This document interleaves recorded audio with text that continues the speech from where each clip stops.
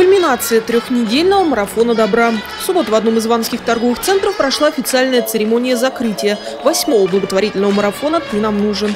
За годы проведения благотворительной акции было собрано более 20 миллионов рублей, благодаря чему необходимую помощь получили почти 60 детей. В прошлом году мы были благополучателями, нам помогали собирать деньги на операцию ребенка. Мы возили в институт Турнера в Санкт-Петербург. У нас подвывих тазобедренного сустава был. У нас в Иванове такие операции не делаются.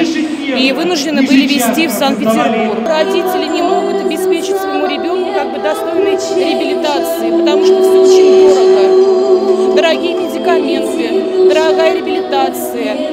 Вообще медицина как бы движется вперед, какие-то сейчас придумываются новейшие технологии, и мы стараемся возить своих детей на какие-то новейшие вот эти вот все программы реабилитации. Вот. И я считаю, что вообще это нужное дело, помогать таким детям. Эмблемой восьмого марафона «Ты нам нужен» стала бабочка внутри фирменного апельсина.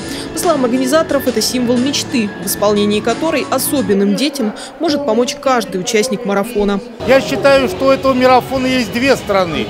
Во-первых, конечно, детям с ограниченными возможностями нужна помощь не только по здоровью, но и э, по социализации, по вхождению в жизнь. Ну и во-вторых, что не менее важно, я считаю, что э, в душе наших граждан э, в подавляющем большинстве гораздо больше добра, сочувствия, любви и подобные марафоны будет эти лучшие чувства. И э, граждане вступают на путь сопереживания, помощи ближнему, помощь тем, кто э, чем-то э, судьбой ограничен. Свои слова глава региона подтвердил действиями и перевел на счет марафона из губернаторского фонда крупную сумму денег. Пока окончательная сумма собранных средств неизвестна.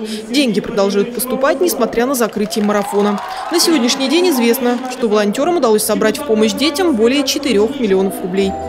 Наталья Кутарина, Андрей Семиволков, РТВ Иванова.